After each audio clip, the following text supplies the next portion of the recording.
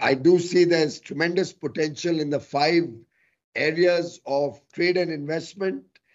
Uh, we can do better in that, of course. As I said earlier, uh, we are looking at early conclusion of the CECA.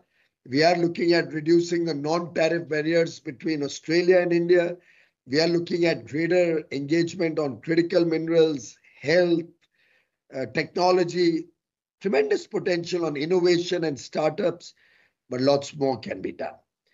And how can we do that? Why can we not start identifying specific areas of cooperation?